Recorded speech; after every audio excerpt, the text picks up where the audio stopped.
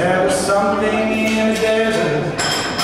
There was someplace wild and green. And a child in a village I passed through.